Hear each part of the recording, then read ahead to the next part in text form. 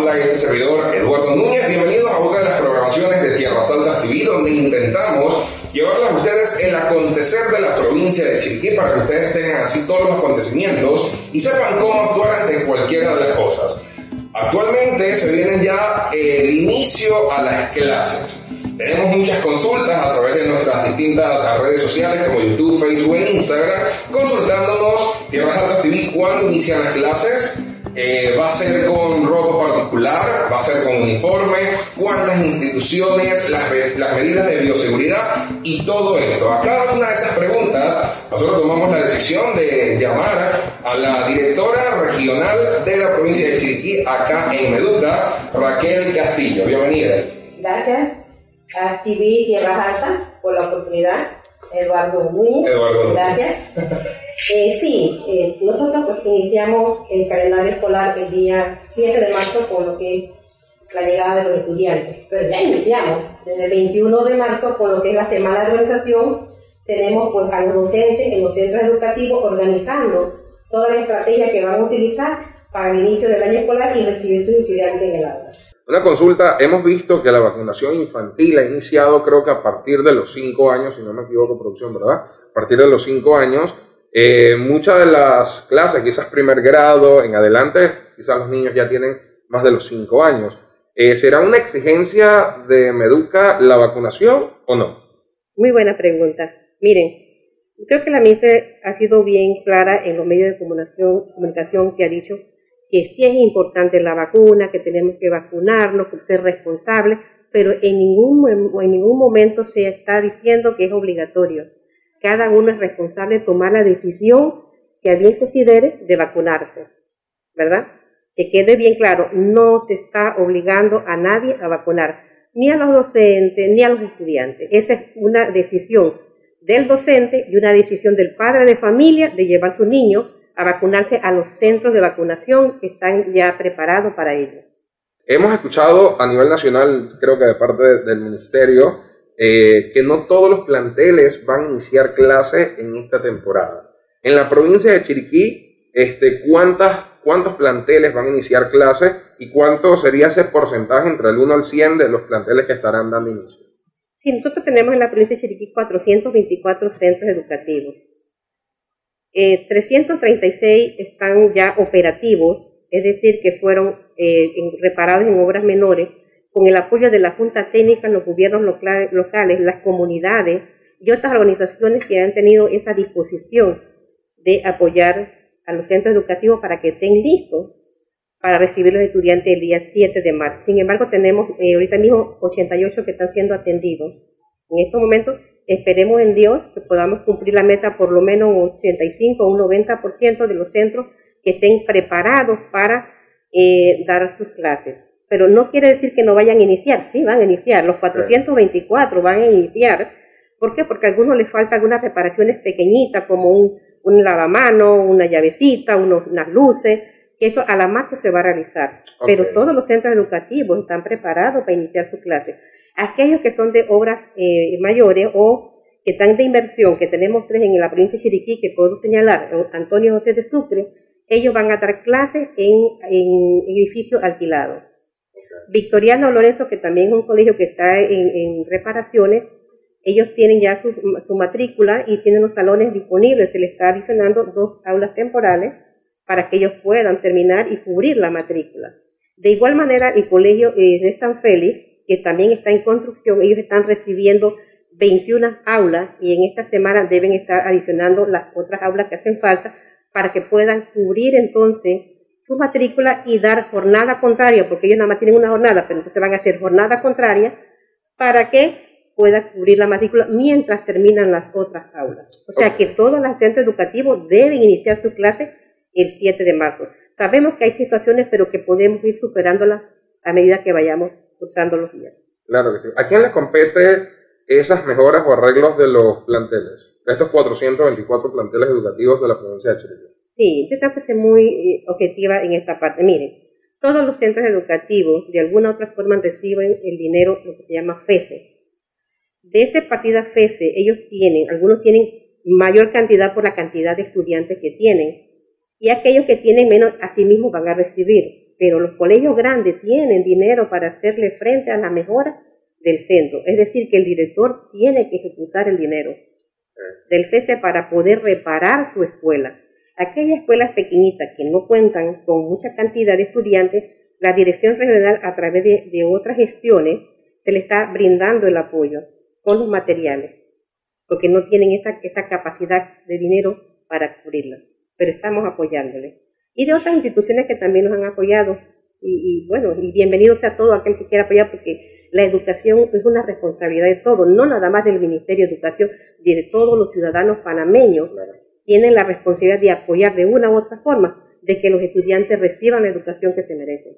Muchísimas gracias, directora. Otra preguntita, ¿habrá tiempo para matricular? Ya pasó la temporada de matriculación, viene la temporada de matriculación para estos padres nuevos que van también a ingresar, a estos eh, nuevos estudiantes? ¿Cómo es, ese, cómo es proceso? Eh, muy buena pregunta. Mire, nosotros tenemos un hecho de matrícula de los colegios particulares a los, a los centros públicos de gran cantidad. Nosotros como, eh, como dirección regional y un centro educativo no le podemos decir a un padre de familia que no se le puede matricular porque viene de aquí o viene de allá. No, si tiene el espacio suficiente o tiene eh, calores disponibles tiene el docente disponible que pueda albergar estudiantes de diferentes áreas, se tiene que recibir. No se le puede negar la matrícula a nadie. Todo docente debe tener una cantidad de matrícula para estar en un centro.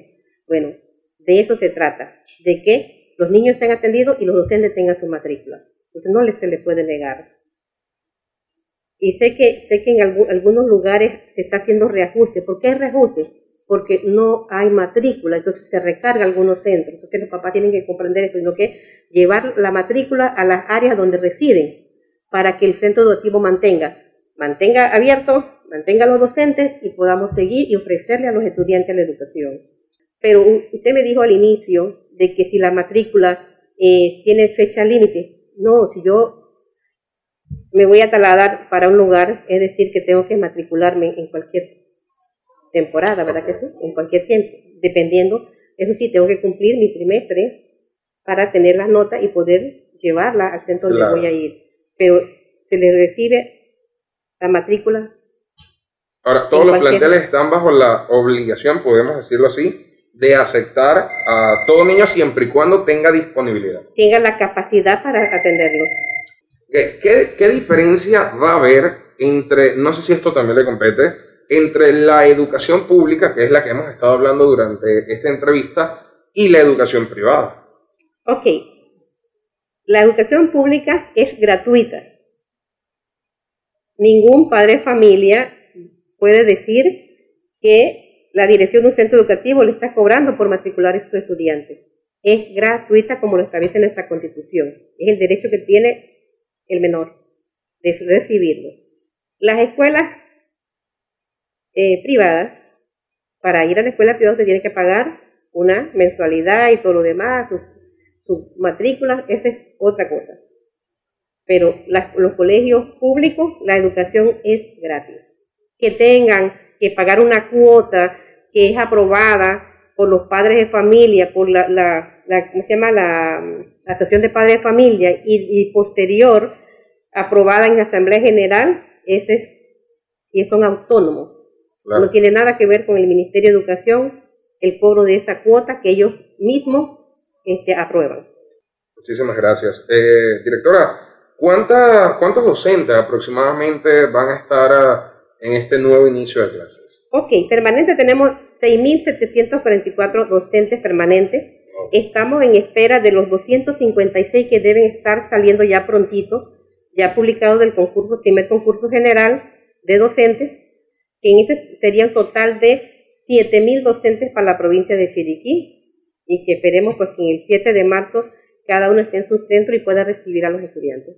Dejamos una de las últimas preguntas para el final, para siempre dejarlo mejor de último. y es lo que todo el mundo, quizás en el país, se está preguntando. ¿Los estudiantes van a ir con uniforme o van a ir con ropa particular? bueno, mire, la ministra ha hecho mucho énfasis en ese tema, porque los papás preguntan, la sociedad preguntan, El uniforme no es obligatorio, pero sí es necesario. Hay muchas razones. Primero, una le da la seguridad al menor de ser reconocido de qué centro viene. Le ayuda para el, su pasaje, aquellos que viajan, el costo es más bajo. ¿Verdad que sí? Y el, uniforme es tan importante porque es el reconocimiento del estudiante para identificarlo. Pero va a depender del padre de familia, de cómo va a distribuir lo que es el pase U, la beca del pase U, cómo va a distribuir el dinero en comprar lo que le hace falta, útiles, uniformes.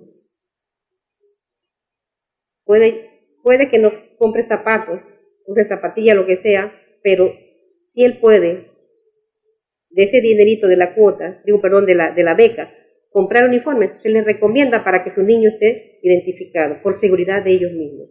Claro que sí.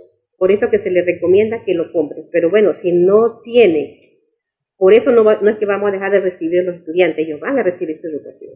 Ahora, quiere decir que el día que inicia las clases, si alguno de los estudiantes desea ir con ropa particular, puede hacerlo. Ropa particular formal. Formal. Claro.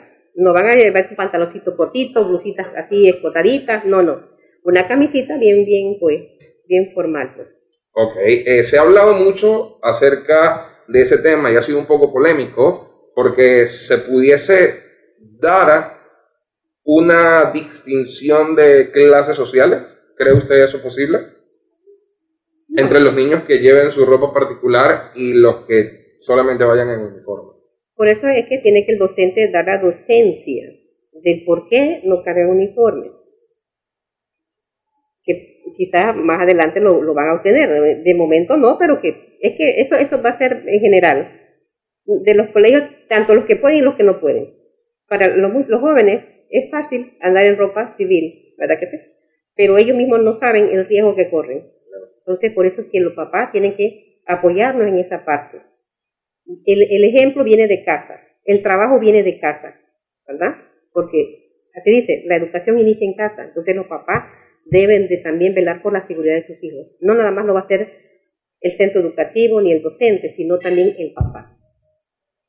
Y es mejor que de casa vengan con uniformes si lo tienen, no importa que sea del año que sea, que no se haya utilizado, porque quizás algunos están más gorditos y así estamos, ya no les sirve, pero sí es importante el uniforme, para que lo vean desde ese punto de vista, es por seguridad del estudiante.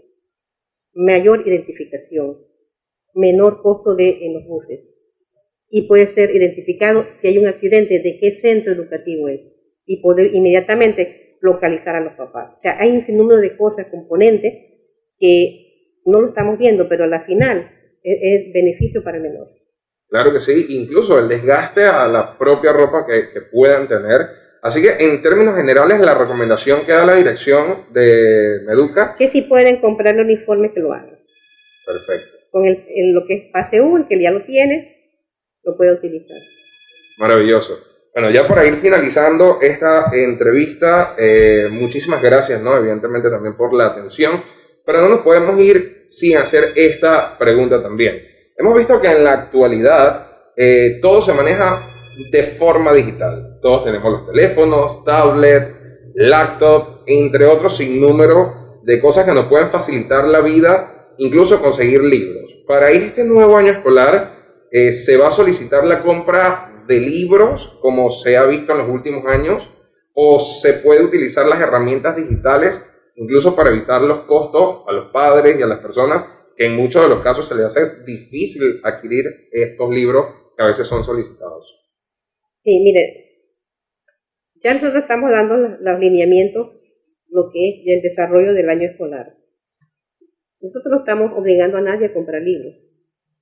Tienen que seguir las indicaciones, tanto los directores, los docentes tienen que bajar la información. Lo que no queremos son gastos, porque sabemos que la condición económica de muchos padres de familia no está bien y algunos no están trabajando. Entonces tenemos que ayudar a los papás a minimizar los gastos. Y ahorita no hay prioridad para comprar libros. La educación la tenemos que dar porque tenemos que darla. O sí o sí. Pero sin estar gastando en compras de libros. Así que tienen que esperar los lineamientos, ver lo, que se va a generar, qué va, los libros que vamos a utilizar, si los va a dar el Ministerio de Educación o no los va a dar el Ministerio de Educación, pero los papás no van a comprar libros en estos momentos. Tenemos que ir poco a poco. Lo, importante es retomar estos dos años que no hemos estado presencial, retomarlo a una presencialidad, adaptarnos nuevamente, porque es una, una nueva experiencia para todos, utilizar las herramientas, utilizar los WhatsApp, utilizar los módulos, los correos, cualquier tipo de herramienta que le permitió al docente comunicarse con su estudiante, bienvenido sea. Esto va a quedarse con nosotros también, igual que el COVID, que tenemos que aprender a vivir con esto. Asimismo, tenemos que aprender a utilizar las herramientas que nos va a ayudar a mejorar, viabilizar. ¿Qué cosa? La educación. Porque si un estudiante, por cualquier situación, no puede ir, por ejemplo, dos, tres, cuatro, una semana a clase, ¿cuál es la obligación del docente? comunicarse con el estudiante de cualquier forma y brindarle entonces la educación para que el día que él retorne al aula esté a nivel que los demás compañeros. Entonces, esa herramienta le va a permitir a él esa viabilidad de comunicación con el menor. Entonces, por eso es que se le dice, y, más usted sabe que venimos a, a presencialidad y no podemos ser ciegos de que puede haber un contagio en un grupo pueden haber tres, cuatro, cinco estudiantes que salgan contagiados, ellos van a su cuarentena en casa, pero no van a desconectarse de su profesor. Hay que buscar el mecanismo de cómo darle seguimiento a los niños. Entonces, para eso están las herramientas. Directora, eh, las cámaras de Tierras Altas TV son suyas si desea acotar algo adicional, si le quedó algún tema, y de la misma forma también puede brindar su saludo de despedida a todas las personas que nos estuvieron viendo durante esta entrevista. Así es bueno, ya quiero sí pues decirle y darle la bienvenida a los docentes. No pude recorrer todos los centros porque, bueno, están distantes uno de otro y, a los que no pude visitar, bienvenidos, señores directores, señores profesores, señores supervisores, al año lectivo 2022. Sabemos que no va a ser fácil, es un año de reto, de reto que tenemos que asumir con responsabilidad pero hay un lema que dice que el trabajo en equipo se logra. Pues bienvenido a esta familia educativa, a un nuevo año 2022 y que el día 7 de marzo recibamos a nuestros estudiantes con alegría, con responsabilidad y sobre todo eso que le caracteriza a ustedes, la unión hace la fuerza. Es decir, que este COVID no nos va a vencer y tenemos que aprender a vivir con ello. Entonces vamos hacia adelante. Sé que juntos lo podemos lograr y invitarlos, pues, aquellos que no se han vacunado y sienten ese, ese deseo de hacerlo, que vayan a los lugares donde están las sedes de vacunación, igual a los padres de familia que quieran llevar a sus, a sus hijos a vacunarse, bienvenido sea. Bueno, esas son las palabras de Raquel Castillo, directora regional de Meduca acá en la provincia de Chiriquí. Para este servidor, Eduardo Núñez, ha sido un inmenso placer como siempre poderles llevar los acontecimientos del distrito y de la provincia para todos ustedes. Nos vemos eh, durante toda la semana con nuestra programación habitual por Tierras Altas TV, la voz del pueblo. Bendiciones.